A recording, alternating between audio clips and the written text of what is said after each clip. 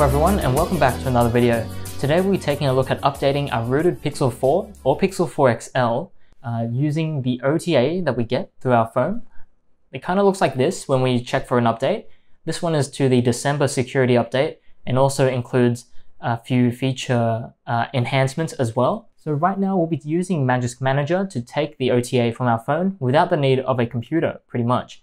And for those who have followed my Pixel 4 root video, and pretty much that's probably the only way to root the Pixel 4 by using Magisk Manager to patch the stock boot image that we get from the factory image uh, in order to install Magisk without a recovery. So because we've done that, Magisk actually didn't make a backup of the stock boot image into the location that it usually finds those backups in. For example, I'm trying to take this OTA update here and it says installation problem. That usually means our device doesn't kind of meet the requirements of having an authentic or an original uh, software or firmware there. Obviously, we've modified the boot image or the boot partition to install Magisk. So we need to get rid of that, right? So usually the procedure would be to go into Magisk Manager, tap on uninstall, and then tap on restore images so we can take the OTA. But down here it says stock backup does not exist. Now that's the problem we get because we chose to install Magisk by patching and selecting a boot image. When it does that, it can't copy the backup to its usual location, even though it says it makes the backup of the stock boot image. So in order to upgrade, we need to make our own backup, which is quite easy. So there are only a few things that we need to download, and one of them you should already have. So let's head over to our computer to briefly discuss what we're going to do here. So reading this issue on GitHub, on the Magisk repo, number 1870, it describes the stock back backup not existing on a Pixel 3 that was rooted using the uh, boot image patch method, and they kind of want a way to supply their own stock uh, boot image or backup. So down here, we've actually got a helpful comment here by Rayquin, and pretty much it tells us, or they tell us that where the stock boot image backup is supposed to be located, which is in data, and also where the configuration is that Magisk holds the name or the hash of the backup that it made originally. So we can use this information in order to force Magisk to use our own backup. And to do that, of course, we'll need the factory image that you should already have when you rooted your Pixel 4. So I would actually use the same one because you need the boot image to match, or you should have the boot image match your current build of Android. So if we go over back to our phone real quick, you can see that my version of Android is noted here when you scroll down into the expanded quick settings. Uh, it starts with QD or 1A and ends in 007.A3. So remember that. And when we go into and find our factory image for the Pixel 4, for example, you can see that mine is located here, and that was in the November update. So here it is, QD1A 007A3. So you should probably already have this or a factory image that you downloaded before, but if not, just grab the one that matches your current build of Android so you should only have to do this once and you should be able to take OTAs afterwards without any other hassles.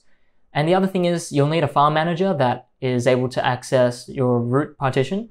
And I currently use MiXplorer. You can grab that off XDA and I'll leave a link to it down below. And that's the file manager I'll be using in this video. So uh, if you want to follow along, grab that as well.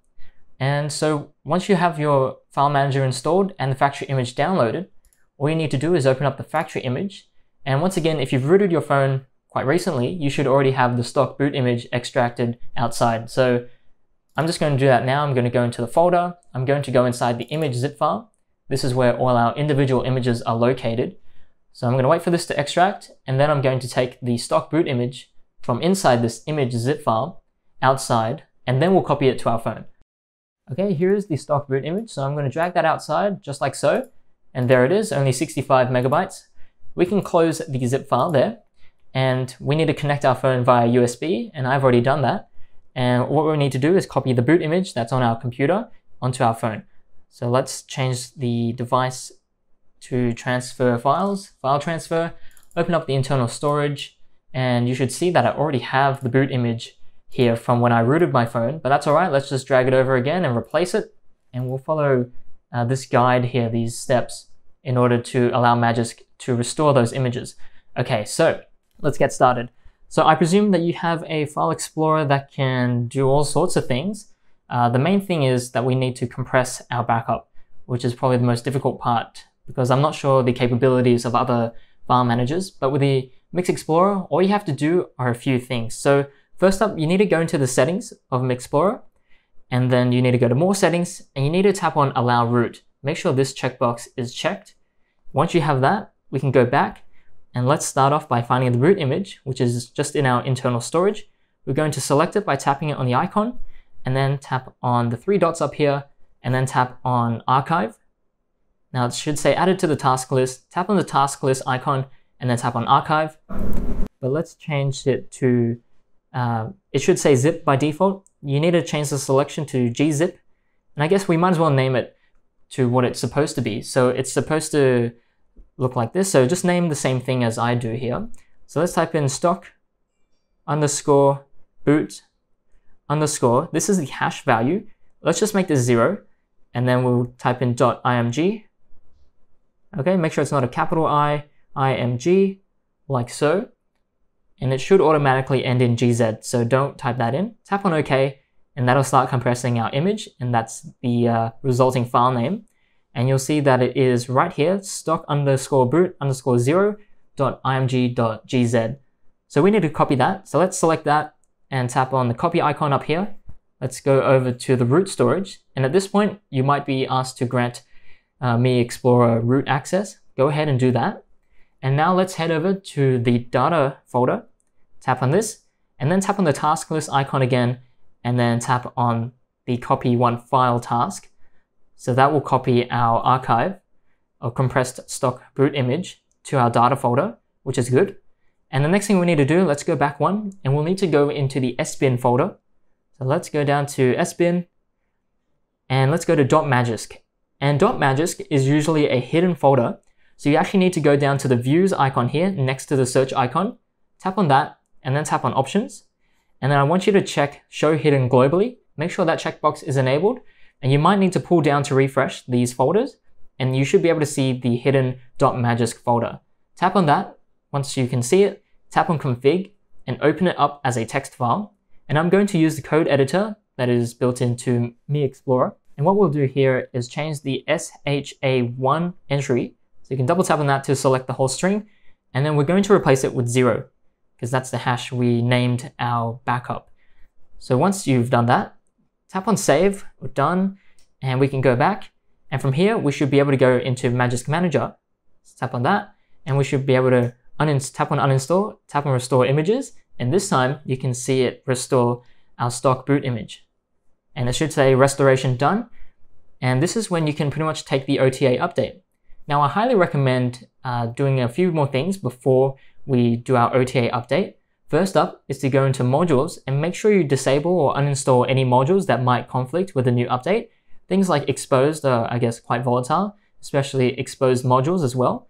So to play it safe, I recommend that you disable your EdXposed or Xposed module and potentially any other modules that modify system files. Now, one thing to note is that the ActiveEdge mod is okay because it disables itself if it doesn't match the current version of Android, which is good. And the only other thing that I would recommend that you do also is enable USB debugging. This can be helpful if you end up in a boot loop after installing modules, and you'll be able to uninstall all your modules uh, without the need of resetting or using a custom recovery.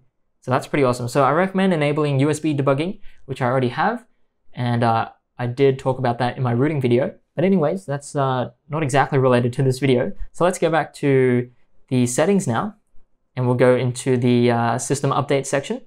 And now if you tap on try again, give it a sec to prepare the system update and also give it a moment to download it if it hasn't already done so. And this time it should go through without a hitch.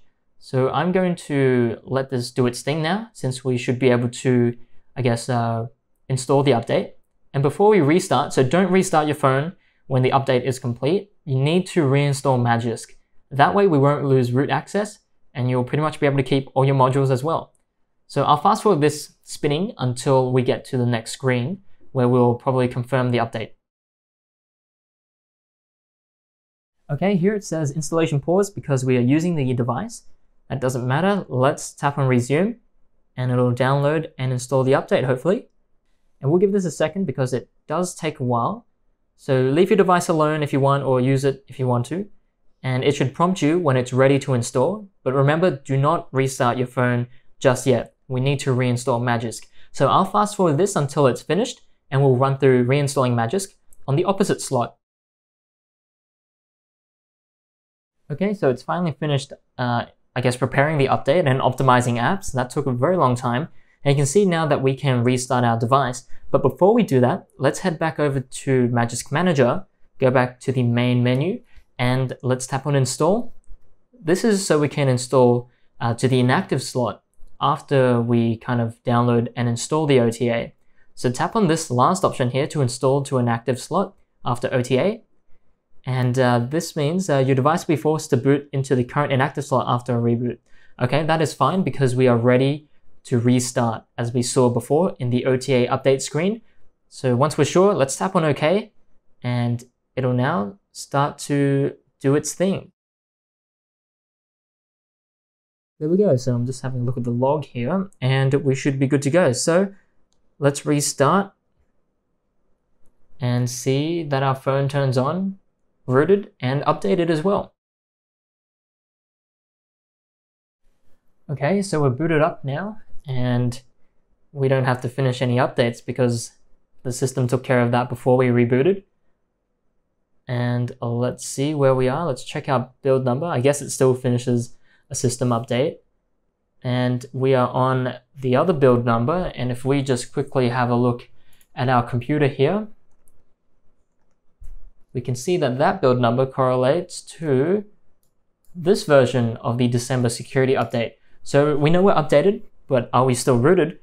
And if we open up Magisk Manager, yes we are, which is great and all our modules should be up to date and all good. I will need to update the ActiveEdge mod, uh, but that is fine. You can see I can do that right away and Magisk, and I'm not focused on my phone, but anyways, that's how you can update your phone from after rooting your phone using the boot image patch method. Uh, so this was pretty simple in my mind, but I still prefer using the factory images directly and just doing a quick patch of the boot image there because waiting for that the update to optimize all the apps took a pretty long time, uh, but we did have to do that initial first step of inserting our own stock boot image backup. So that did take a little bit of time, but hopefully after this, we should be able to take any other OTAs from this day forward without having to uh, keep adding our own boot image backup. So that backup should still be there and we can, I guess, quickly have a look if it's still there because it's just located in the data folder inside our root folder. So you can see it's made one here uh, of the one that is actually on our phone, if that makes sense. So this was the one that we imported, the one with zero, uh, and now it should work as usual. So you can actually delete this file. Don't delete the other one, but delete the one that we named and manually moved over. But that should be all you need. And as you can see, we are still rooted and updated with no data loss. So if you have any other questions, feel free to leave it down below in the comment section, or even better yet, join us on Discord. It's much easier to keep track of conversations and to uh, send help and images and all that kind of good stuff. So thanks for watching guys, and as always, happy flashing.